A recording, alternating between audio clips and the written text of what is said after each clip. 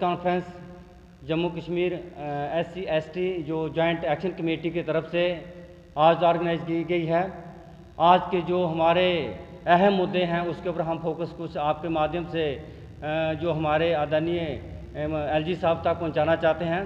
जिसमें सबसे पहले तो restore restore restoration of reservation जो हमारा मसला है, अक्टूबर 2015 से लेकर अभी तक जो लटका हुआ है, एक तो वो है दूसरा जो है एट्रोसिटी ऑफ़ एम्प्लॉइज़ जो है हमारे एम्प्लॉयज़ को जो हरास किया जा रहा है।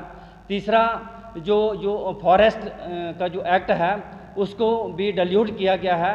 हमारी ये पुरजोर एलजी साहब जी से ये अपील रहेगी कि आप पर्सनली ऐसे मुद्दों के ऊपर थोड़ा इंटरवीन किया जाए, ताकि जो हम इन चीज़ों से अभी फेस कर रहे हैं, इन प्रॉब्लम्स को तो इनको जल्दी से जल्दी जो है वो ख़त्म किया जाए।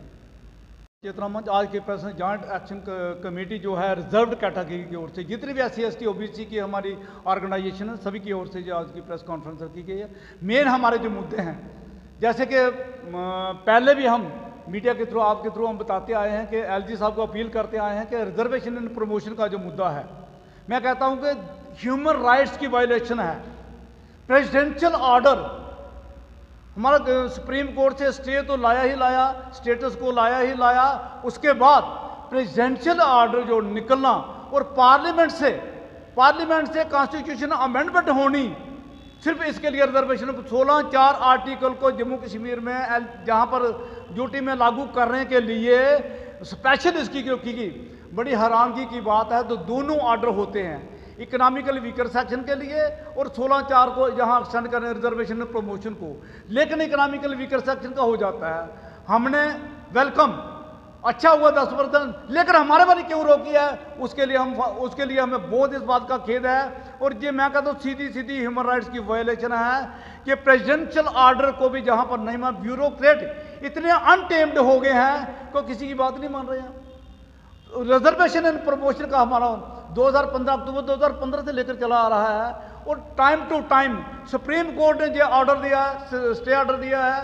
तो भी इसके बाद बड़ी अनफॉर्चुनेट पार्ट यह है कि ऑर्डर जो हमारे J and K high court है, उसने भी रिजर्वेशन प्रमोशन को उसके लिए ऑर्डर किए हैं। उसको भी इंप्लीमेंट नहीं कर रहे हैं एल साहब से हमारी अपील रहेगी कि थोड़ा सा ये अपना जो टीम है, जो ब्यूरोक्रेट्स की, इसको थोड़ा चेंज करें ताकि ये काम लोगों जे के निकल सकें क्योंकि जो जो चाहे लॉ सेक्टर की बात करें चाहे डी सेक्टर की बात करें वो अपनी मन मर्ज़ी कर रहे हैं नहीं कर रहे हैं जो रिजर्वेशन प्रमोशन को इम्प्लीमेंट नहीं कर रहे हैं। और दूसरी बात हमारा जो एस सी का जो ट्रस्ट एक्ट है जो अ, 1989 का है या नाइनटीन उन्नीस का उसे भी जम्मू कश्मीर के अंदर लागू हो गया है लेकिन उसे इम्प्लीमेंट नहीं किया गया है। जो एफ़ आई आर लगनी चाहिए उसके तहत ट्रस्ट एक्ट वो नहीं लग रही है।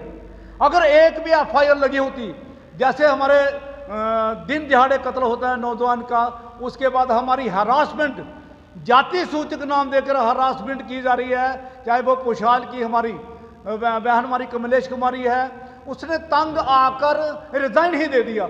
कितना आप आप हाइट देख सकते हैं कि कितना उसने तंग किया होगा। इसी तरह बाकी भी हमारे केसेज हैं। हम कहना चाहेंगे कि एलजी साहब इसमें इंटरवीन करें ताकि ये मसला जल्द से जल्द सेटल हो सके।